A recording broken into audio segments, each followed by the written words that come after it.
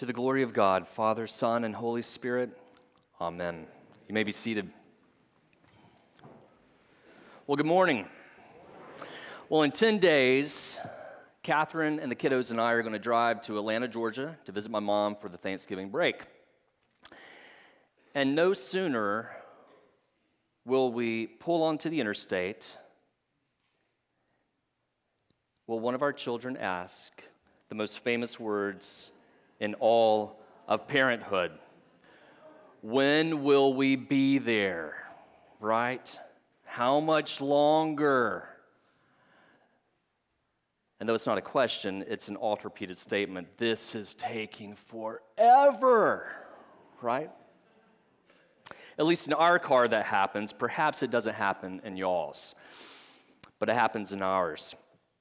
And that question will be asked numerous times until we pull into my mother's driveway, put the car in park, pull up the parking brake, get out, walk in.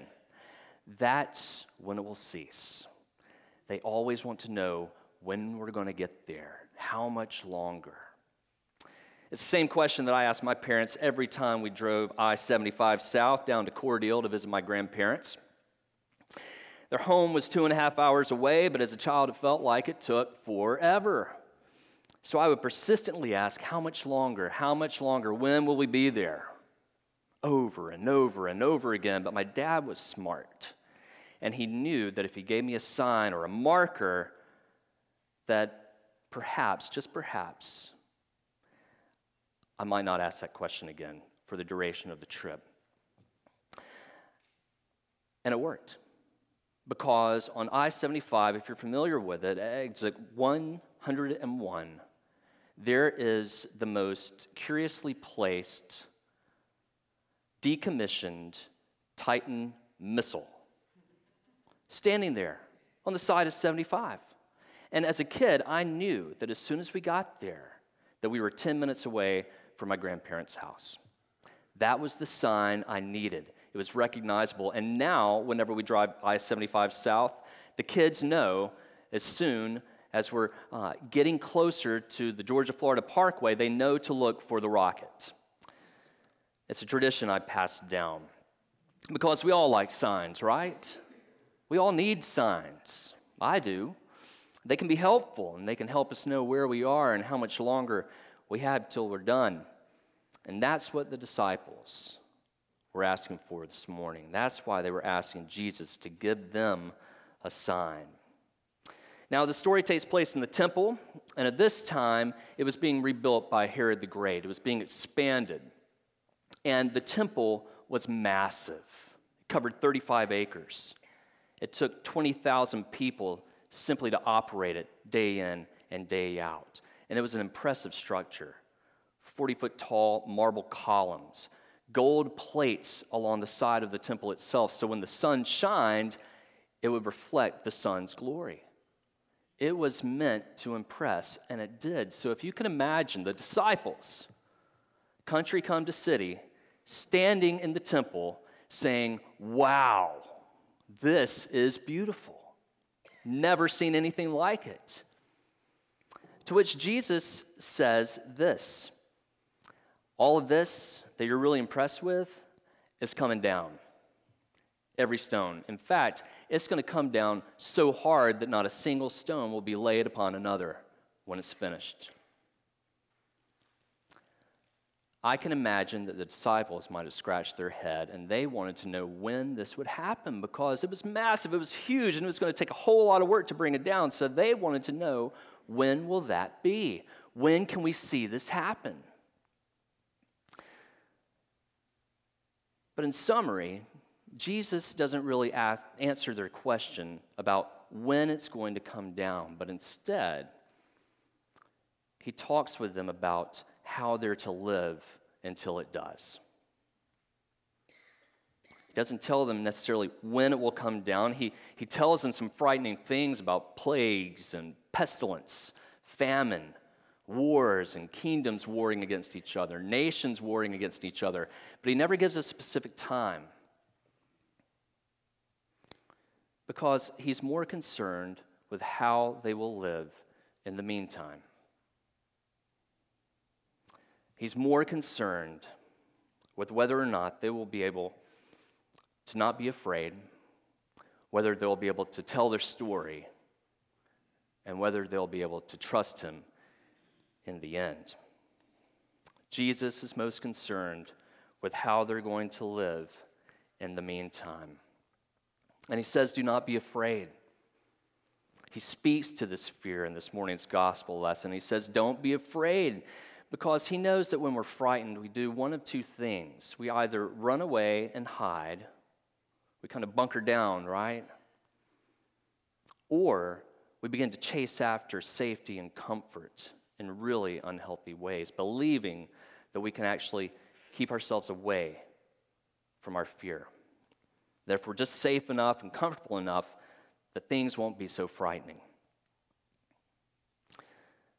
Oftentimes, though, we do them both, right? We run and hide like a frightful child. We chase after safety and comfort. Have you read about the $300 million luxury community that's being developed northeast of Dallas, Texas? It's supposed to be a one of a kind community when it's completed.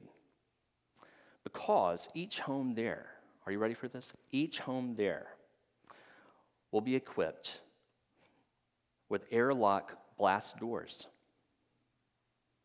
and off grid energy and water production. This $300 million community that's being developed is a luxury community for doomsday preppers. I'm not joking.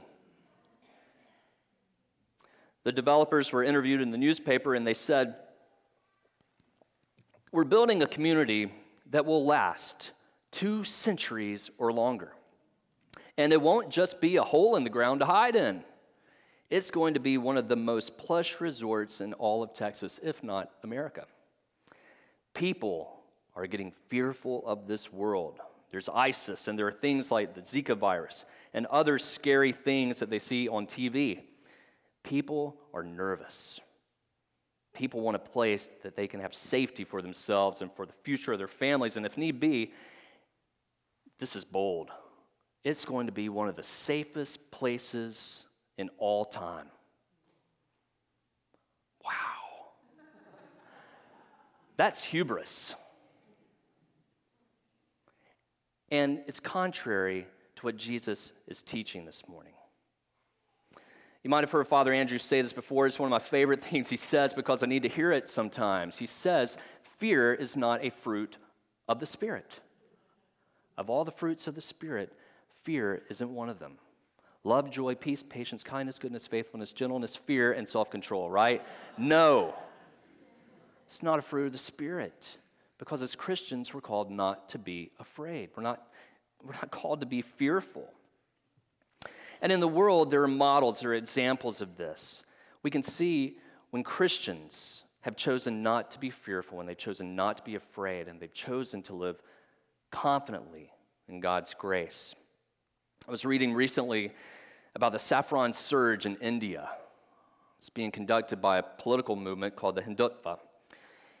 And this movement is a Hindu movement, political movement, and oftentimes it's not seen in the press, but they can be just as violent as ISIS or any other radical Islamic group. And you know what's happening in India among the Christians there? The church is growing, it's thriving. There are churches of tens of thousands of people every Sunday, 10 services a day, 7,000 children in Sunday school. The church in India is growing because they aren't hiding and they're not chasing after comfort and safety. One Indian pastor said this he said that the oppression is so bad, especially in the northern parts of India, that the pastors have this saying where two or more are gathered, the policeman is there long before Jesus. They're waiting to pounce on them. They're waiting for them to meet so they can take them away. But still, they meet. Still, they grow. When asked about this, by an American pastor who said, You know, we're praying for you that your persecution will cease, that it will come to an end. And this Indian pastor said this He said, Please do not pray that the persecution will stop. Pray that we will be sustained during the persecution. Wow. No comfort, no safety, no hiding. Instead of asking God to take it all away, they're asking Him, Give me the grace to be sustained through this. Give me the grace. And what's happened is they've told their story. Indian Christians there are sharing the gospel with Hindus, Muslims, with neighbors, with colleagues, and the gospel is going forth boldly. Whenever we hide, whenever we run away, whenever we kind of chase after comfort and safety, we become so preoccupied that we can no longer see the purpose for which we were created and the purpose for which we were saved, which is to tell our story. That's the reason we've been redeemed. That's the reason we've been rescued. And all of us have stories to tell. Whether it's a story of of a once young child who walked the aisle of a, of a Methodist church, gave his life to Jesus. Or it may be someone who was in the throes of addiction, but Jesus came in and rescued them. Or maybe it's someone who chose to give up everything and go somewhere where the gospel had not yet been proclaimed. Or maybe it's someone whose daily work is getting hammered, but still they choose to trust the Lord. All of us have a story to tell, and we have the privilege of inviting others to join us in this story for the purpose of telling others. We all have stories of amazing grace. John Eldredge is a favorite author of mine. And he was describing his childhood in the most idyllic ways in a book I was reading. And he said when he was a child, about 10 or 11, he was sent every summer to his grandfather's ranch in eastern Oregon. And his grandfather let him have the most fun. John Eldredge says at the time he didn't realize that he was actually working. But he was having so much fun. They were mending fences and rounding up cattle. And in the evenings, he would take a uh, rifle and shoot cans. I mean, like boyhood dream, right? But he said of all the experiences he had, two of the most meaningful were driving with his grandfather through town, where everyone in that community knew him and they would wave to him. And he would wave back. People would smile.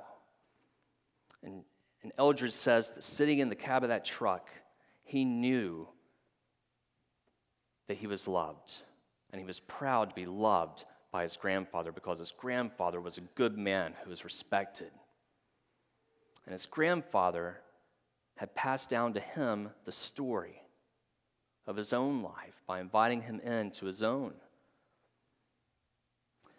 Second favorite memory he said he had was on Sunday afternoons and they go pop calling. You know what pop calling is? It's where you pop in and call on people unannounced. Now, I'm not sure how often that happens these days with texting and everything else, but once upon a time, we go pop calling. And you mainly go visit your relatives after church and after lunch on Sundays. And mysteriously, somehow, every Sunday, there was always a freshly baked pie ready for everyone. And there were chairs gathered in a circle because it was a ritual. And Eldredge says that they would go pop calling and they pull into a driveway, they walk into the home, and there would be the, the chairs in a circle, and there would be rhubarb pie, and they'd sit down and they'd talk, and he would hear all these stories shared among relatives. And he said, one day, he was asked by one of the relatives, So tell me about your week. And he said that he beamed with pride and he said, Let me tell you about my week. And he did. Because he was invited into the story, he felt like he was part of something.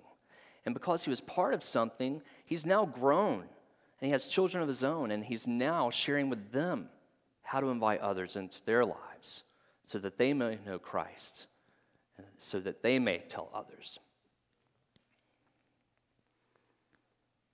Telling our story can be frightening, especially in these days. But Jesus tells his disciples there in the shadows of the temple to trust him. He says, Trust me. And take every opportunity you have in this meantime to share your story, but don't prepare yourself. Because if you prepare yourself, you're going to miss out on everything that's happening in the meantime. And if you miss out on everything that's happening in the meantime and living faithfully for me, sharing your story, you won't have a story to tell. Trust me. It's a beautiful expression. He says, When the time comes, when you're telling your story, I will give you a mouth and a mind. I will give you a mouth and a mind, both of which are developed in the daily living out of our lives, faithfully sharing with others what's been shared with us. So easy to be preoccupied with preparing ourselves. Living faithfully in the meantime is our preparation, though. Many of you know the story of Corrie ten Boom and her sister Betsy. You know that Corrie emerged safely, uh, relatively unharmed, from a Nazi concentration camp but her father and her sister did not, they died. And Corrie tells the story of her dying sister's final words, who, having experienced unbelievable hardship, unbelievable persecution because of their Christian faith, she said, Betsy, my sister, said as she was dying, Corrie, don't cry for me because there is no pit so deep that our Lord is not deeper still. There is no pit so deep that our Lord is not deeper still. He's present, He's with me, and I trust Him. What does it mean to live in the meantime? To not be afraid? to tell our story and to trust the Lord, it means that we have the opportunity and the privilege to live with peace and with purpose. Always remembering the words of our Lord. Do not be afraid. Continue telling your story and trust me. Amen.